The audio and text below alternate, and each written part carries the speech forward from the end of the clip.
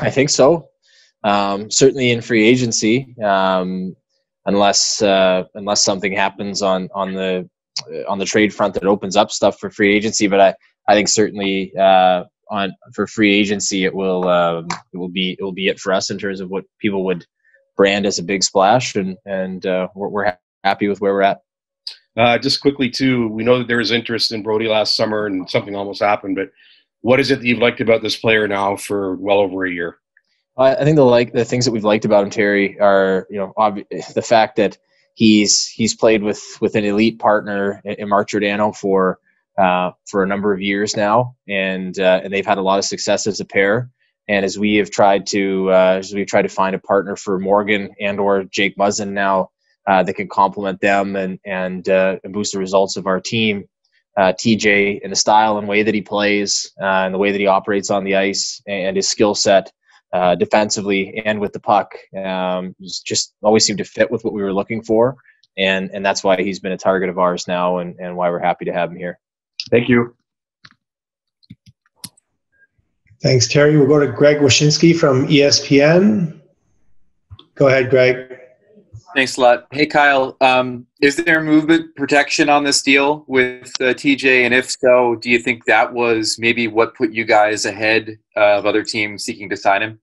Uh, there's uh, there's partial uh, there's a partial no move, and it's as many of these these contracts are at this time with the expansion draft coming up.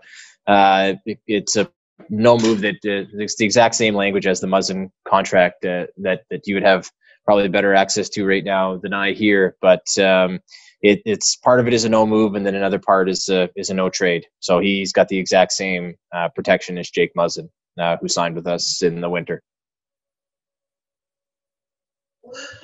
Thanks, Greg. We'll go to Luke Fox from Sportsnet. Go ahead, Luke. Hi, Kyle. Congratulations on the deal. Uh, just wondering if you could take us back and, and what you could tell us about your first attempt to get TJ through the Nazem Kadri deal, and if if maybe uh, what made you want to continue to pursue him now? Uh, yeah, I mean, I, I, know a lot has been written and assumed about that, but there was never any deal uh, there with Calgary. Calgary was one of a number of teams that we were we were talking to, and and um, we permitted them to speak to to Nas and his people about potentially going there, but it wasn't if it wasn't as though if he would have accepted going there that it would have automatically gone there. It was just a part. It was a different part of where the trade talks were at, and in order for them to carry on, they want they knew he was on uh, that they were on his no trade, and so we we granted uh, Brad and their staff permission to speak uh, with with him last summer. Um, but it, even if he would have said yes to go there, it wasn't uh, a given that we would have would have moved him there at that time. We would have done what we felt was best. But certainly TJ has been on our radar for for a long, long time, and um, you know, in, in, continuing to watch him this year, we felt he had another good season with Calgary, um, and just fits the needs that we feel we have on on the back end. Uh, the ability to play on the right side where he's he's thrived throughout his career. Um, you know, to play along Morgan or Jake, whatever Sheldon feels is best, and whatever the best fits are. And then we have Justin Holl and Travis Dermott that can also um, fill in there as well. So we're excited about the fit for us and, and what he brings to our hockey club. And as a left shot who plays the right side, do sometimes uh, uh we on the outside make too big of a deal of what what way a guy curves his stick? Uh, no, I, I don't. Trust me, there are people on the inside who make a big deal about it as well. So it's uh, it's not just uh, it is not just confined to media or fans. We we talk about it a lot in here as well. And I think the thing with TJ is that he's he's done it for so long, going back to the OHL, and it's it's what he conveys that he prefers. So um, you know he, he's able to play on both sides, but has predominantly played the right. And um, there are a lot of guys that can't do it, just the way that they receive the puck and where they receive the puck, and the ability the ability to shift it across their body and make plays. It takes an extra uh, second or half a second probably, um, and that's it's not for everybody, and and some players uh, struggle to do it, but. Uh, he's shown the capacity to do it, the intelligence to, to do it, and, and so he's done it for such a long time now that it's not even really in dispute, and that's what makes the most sense for us. Thanks a lot. Thanks, Luke. We'll go to Steve Simmons from Charlestown. Go ahead, Steve. Kyle, coming into today, you said you wanted to make the team harder to play against, and you talked obviously at times about um, it, the need of a, a right defenseman. Mm-hmm. How pleased are you that in one day of free agency you were able to really address two of your largest needs all at once? Uh, uh, thanks, Steve. I think we're we're content with with uh, the work here today with with Wayne and uh, and with TJ, but I still think that that we have uh, we have a long ways to go and to continue to address the roster and and not just the roster, but what we do to continue to improve the way that we play and and what we expect out of our guys. So I think it's a good. I think we also know that we've got a long ways to go as an organization to, to meet the expectations that our talent dictates should be there. And uh, so we're you know looking forward to not being so content and continue to try to find ways to improve if we can. But um, you know we're, we're happy with how it started off with the draft and today, and um, now we'll now we'll continue to get to work on trying to find different ways we can we can improve this because we know we have to. How significant was the fourth year with TJ?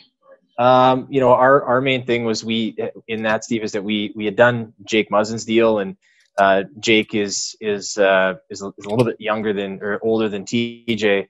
But our, our key with those guys, and we since we had the precedent of Muzz having four years, we were just focused on keeping it at four and, and not going beyond because we, we felt that was fair based on the the internal precedent that we had uh, with a similar player. So um, that was uh, that was where we wanted to to keep it, and, and it was amendable to uh, to Anton Thun and, and TJ, and so we were we were excited to to get that. Great, thank you. We'll with three more questions. Jonas, Mar- uh, Jonas Siegel, Mark Masters, and Kevin McGran. We'll start with Jonas Siegel. Go ahead, Jonas. Hey, Kyle. I'm just wondering how close you ended up coming with uh, Pietrangelo. Uh, not very close.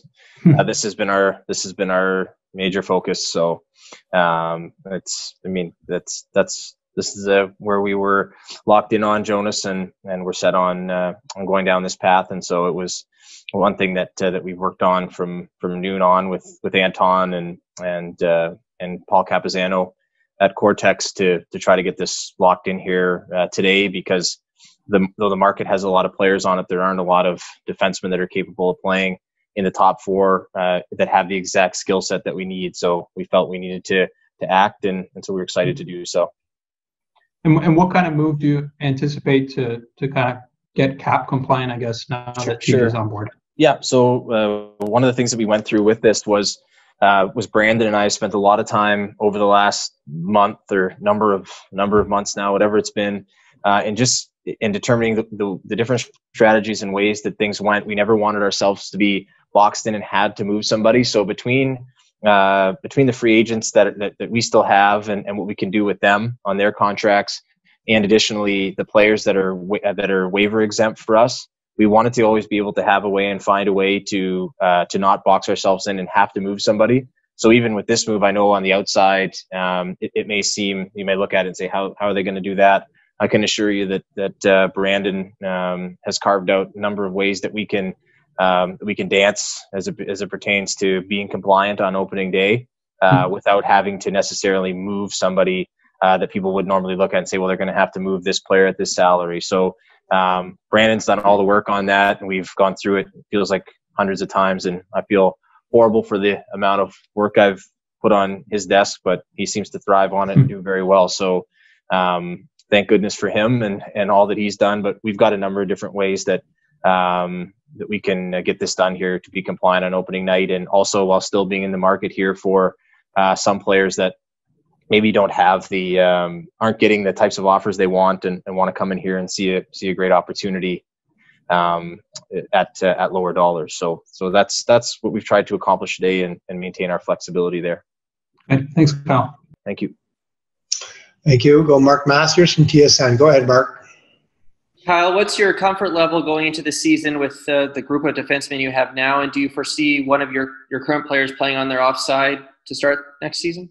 Uh, at this at this time, Mark, we certainly I, I, think would project to see Travis Dermott playing on his offside. He's done that going back to Erie. He's done it with the Marlies. He's done it with the Maple Leafs. So um, you know he he seems to be very comfortable there, and and we would like to see him grow there and continue to challenge up the depth chart um, with the intention being that you know in four years from now, um, after TJ's deal has come and gone successfully, that that Travis has sort of ascended up our, our depth chart that way, and uh, and those are the types of minutes that that he's playing while also challenging them for their minutes over, over the next uh, number of seasons. So I, I, would I would envision Travis playing over there. We know Martin Marincin can play over there um, as well, and and we've got Timothy Liljegren, um, of course, who who played up for us this year and uh, is a young player that that we really think has has a great future with us. So we've got options there as it pertains to our, our defense in general. If we could add uh, somebody that uh, that uh, maybe possesses a little, little bit um, more power and presence on the back end at, at uh, here in the coming days, uh, we'll still like to try to do that, but uh, we'll see how we'll see how that goes. Thanks, Kyle. Thanks, Mark. we'll finish off.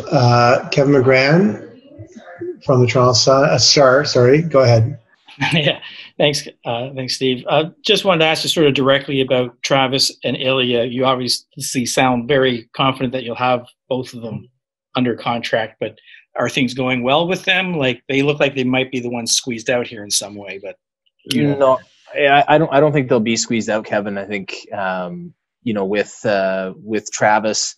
Um, you know, it, it might it might have to just be on a shorter term contract, which which uh, Brandon will handle with with Jeff Jackson and uh, the people at Wasserman, and then with Ilya, I mean he's uh, he's either uh, he's going to be an arbitration case potentially if, if there can't be something worked out there, but that's a that's simple because it's it's one that can be solved in, in arbitration. And um, you know the comparables are, are, we're pretty confident that they it's not a it's not a wide berth in terms of what the comparables are and what his number would would land at. So um, you know, I we've kind of in the question there that, uh, that Jonas had asked. That's part of you know what, what, we project in terms of where those guys will be as part of our whole projection of how we can how we can make this happen by opening night. So um, that's that's what we're looking at now.